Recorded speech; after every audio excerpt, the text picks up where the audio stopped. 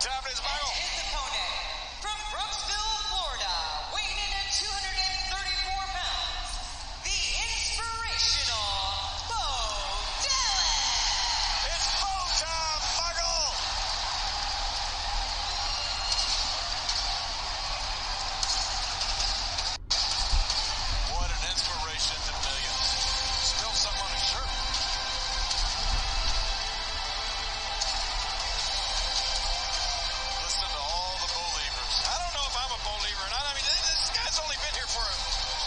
short period of time. He's already in a pay-per-view match. Come on.